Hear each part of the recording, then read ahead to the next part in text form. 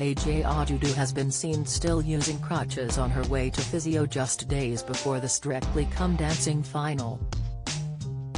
It comes after the 33-year-old, who is a finalist in the BBC competition series, suffered an injury to her foot which led her to have an emergency scan earlier this week.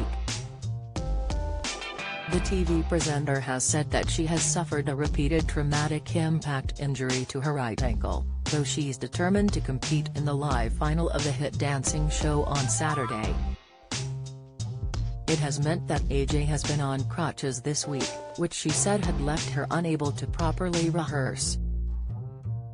And photos taken today show her still using crutches as she was spotted leaving her hotel on her way to physio.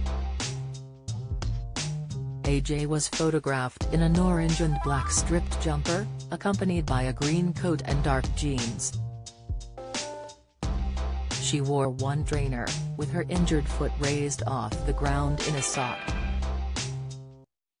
In a statement on Instagram earlier this week, she said, I've got a repeated traumatic impact injury to my right ankle affecting the joint, capsule and ligaments themselves. She said she couldn't pinpoint when it happened during training but the pain came on suddenly on Monday night. AJ continued in the post, the pain was so acute that I projectile vomited and currently I can't put any weight on my right foot without agonizing discomfort. The TV presenter added, because I'm unable to move without crutches, we haven't been nor will I be able to rehearse properly ahead of the live final. She said that whilst she is gutted by the injury, she's trying to remain hopeful and positive ahead of the live final.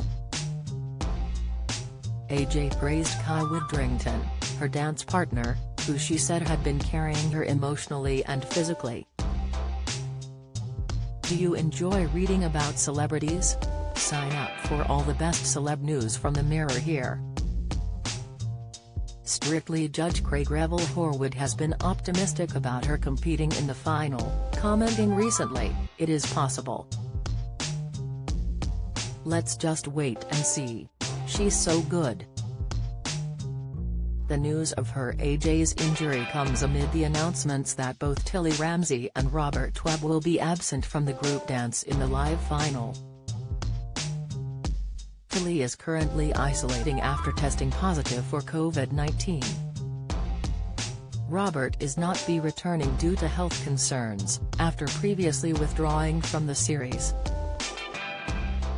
The upcoming final is set to see AJ, John Whaite and Rose Ayling-Ellis compete for the Glitterball Trophy.